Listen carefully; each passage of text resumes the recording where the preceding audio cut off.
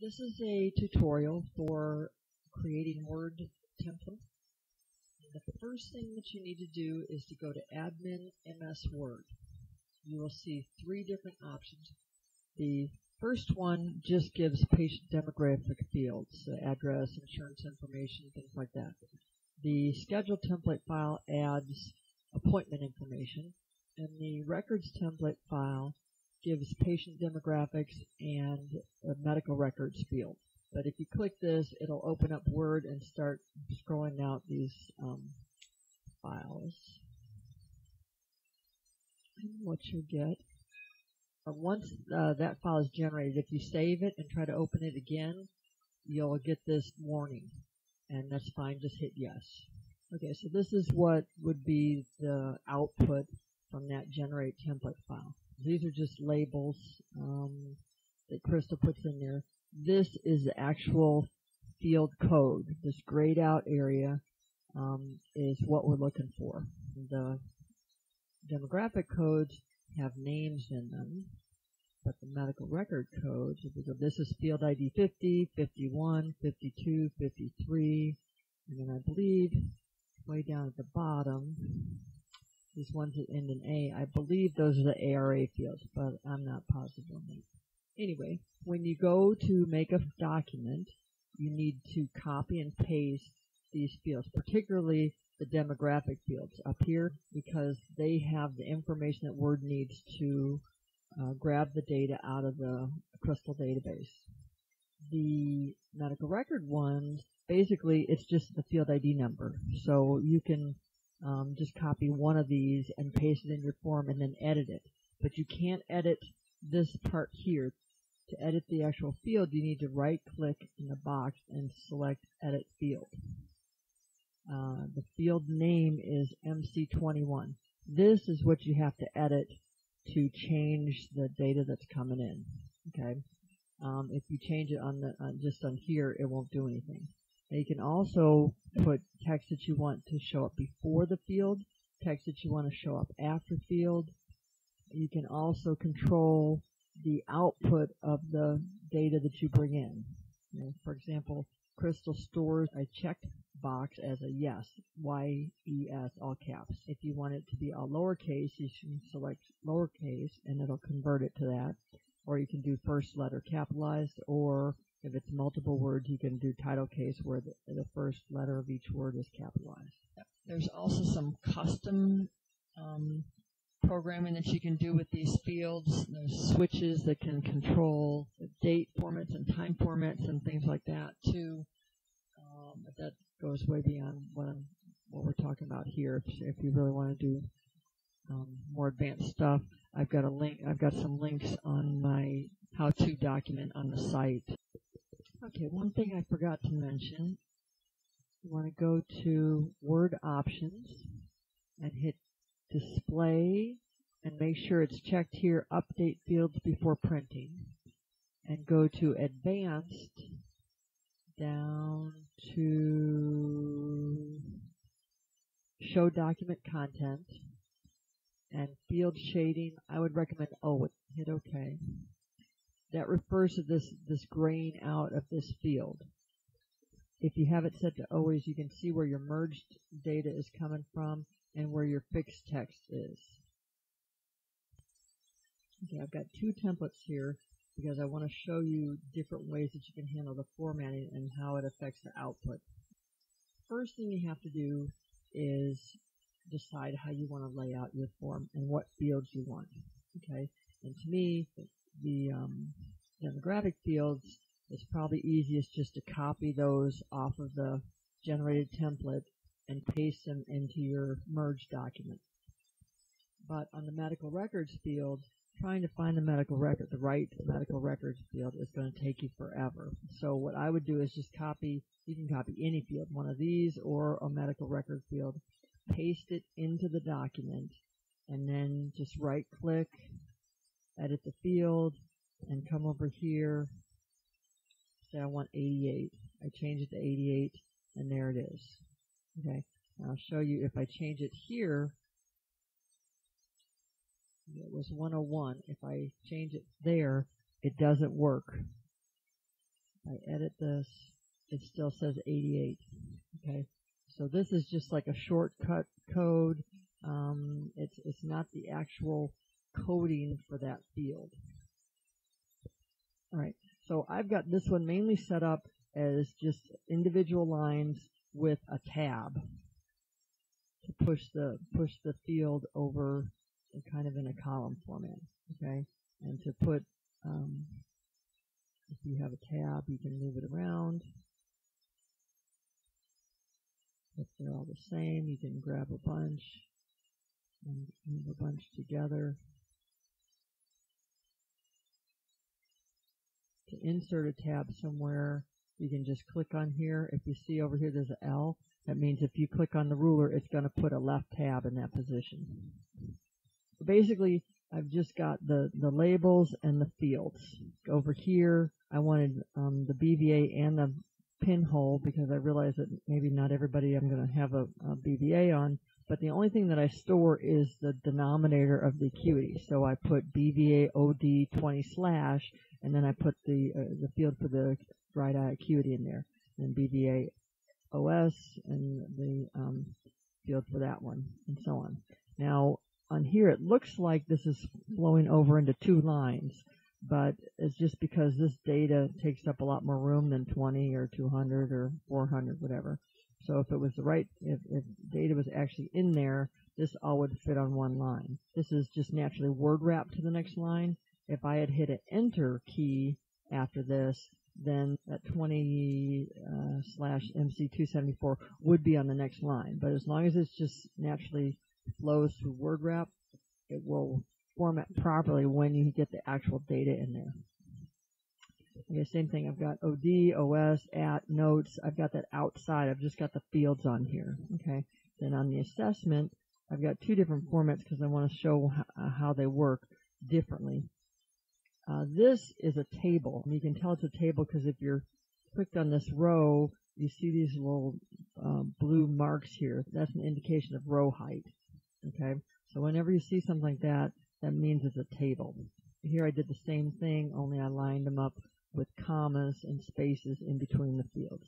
And then for plan, I've got, this is my plan, and then I also have fields for RTC and a reason. I have a checkbox field that I check when I take photos. I am putting it here as a yes, which is how Crystal exports it, but I wanted to show you how the checkboxes work. So another way that you can see the actual code is to either click on an individual field and hit Shift F9. Okay, and you see it says merge field MC underscore doc. All right. And so that's the actual code that tells it what to what data to pull into that position. You can hit Shift F F9 and that turns it off again. And the other one is alternate F9. And that shows all the fields for all the pages. In this mode, you could potentially go in and manually edit these. If you copy and pasted the same generic field on all these places, and you could come through and say this is 101, this is 86, 87, 88. You could manually edit it in here without going to right click edit and, and doing it there. I also want to show you while we're here, this is how the coding is done for the for a checkbox. Okay, to do a checkbox, you have to do an if command. You go wherever you want the checkbox, and you hit Control F9, and that inserts these little curly brackets. You cannot type these yourself. You have to get them in there by hitting Control F9. And then I'm going to delete this and just show you what we type in here. Okay, so then you type if, and then you copy the field that you want to, you know, to pull the checkbox data from, whatever your checkbox field is. And then you say, you type if, and quote, capital Y-E-S, quote, and then you have a space, and then you put in quotes, the, and you, you put in the image, the symbol that you want to be printed or displayed if the checkbox uh, is is checked. Okay, and then you put another space and in quotes the symbol that you want if it's not checked. Okay, So how the if command works is it says if this condition is met, if merge field 1014 is equal to yes, then you put an, this symbol. Otherwise, you use this symbol. Okay? And you can just, you can, you go to this spot and you click, uh, insert symbol. And you could use this or you, you know, whatever you want to use for, for the check state. And then you do it again for the unchecked state. Okay, so that's how if how the checkboxes work. One other thing. Sometimes you put in fields, you save the file, you open it back up, and they're not there, and you know they're there. If you merge a document, they show up in the document, but you can't see the field on your Word template. And it seems to happen particularly with checkboxes. This template actually has that same checkbox, but it's not showing up. But if I hit F9, you can see that that code is in there. Why it doesn't show up, I don't have a clue, but it happens um, frequently. So remember that little tip. A couple other things. If if you have a blank line like this with no no text in it, just field. If all of those are empty, then that line will be ignored. There won't be a gap there for that line. If this is entered as a as what's called a page break, if you finish this line and you hit the enter key to go to the next line. If you do what's called a line break, where you do shift enter, then it will be displayed even if it's blank. Same thing goes for the fields themselves. Anytime a field is empty, then it won't put anything in that spot. It'll just move everything over. But that doesn't happen with tables. If this one is empty, these two are empty, you only have two diagnoses, there will still be a gap here where these rows were. Okay. The other thing about tables is that table cells will wrap and keep the data in that zone. Let's go to the resulting templates from this. So if you look at this template on the left, this is the basic one. I just put the, the fields in there and I put all the text and everything outside of the of the field. Okay. So here you can see in the medications there were a whole bunch of medications, so it overflowed that line and went into the next line. Same thing with the allergies. Here where it's got um, pinhole acuity, there was no value entered for there, um, but that text still shows up. Okay. And here there are two lines where the, the two rows for the third and fourth diagnoses that isn't there. It, it, still takes up that space. Okay, and here I had um, RTC and for the reason I didn't have data in those fields, so that's is still there, right? So it does the job, but you can make it look a lot nicer if you put some of those things into the actual merge field. So looking over it at this one, what I did differently here is I made this part a table. Okay, so if there's a good chance that data is going to overflow, you might want to consider putting it in a table instead of just a line, because that way the word wraps in this section dedicated to this part of the table. Mm-hmm.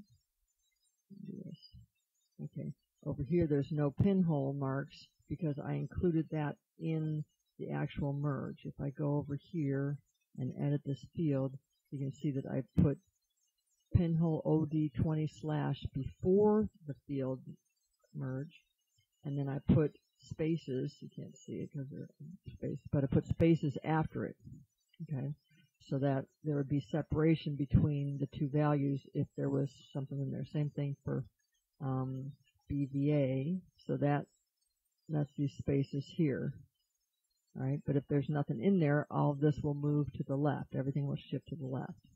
Okay?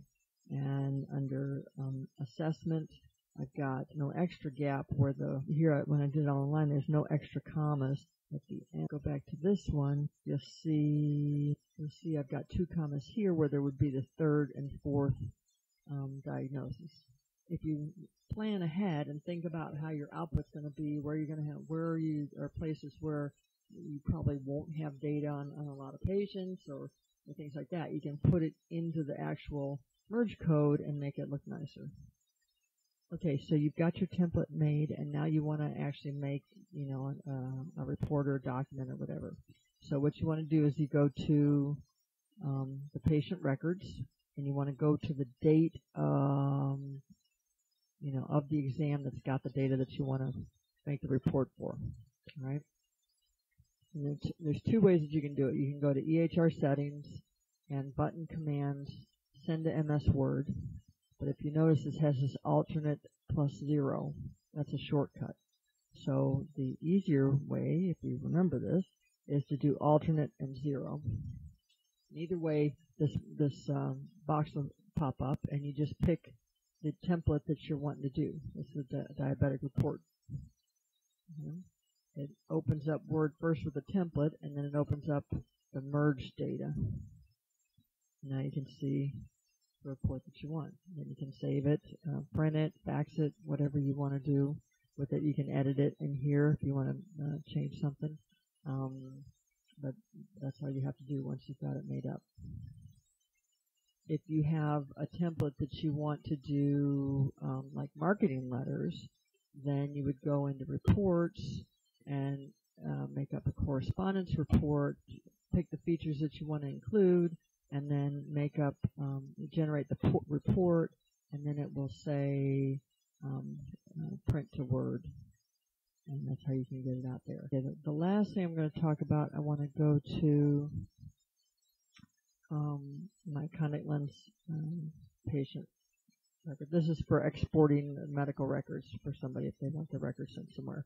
So it's got a whole bunch of fields on it. To me, the easiest way to do medical records fields is to go in and edit your medical records, find the field numbers that you want to put in there and write it down, make up a you know, a draft document and just write, fill in those numbers that you're going to need and then go in and edit the, uh, the merge field with that corresponding number. Because trying to go through that generated template, you'll go crazy trying to find the right fields. This particular, because it's so many fields, it's basically one huge table. Again, I've just turned off the borders except for places where I want lines and things. Okay, if you see this at the end of my table, I put a row that's only one one high because a lot of times if a table is at the uh, near the bottom of the page, it inserts a blank page and you can't can't get rid of it.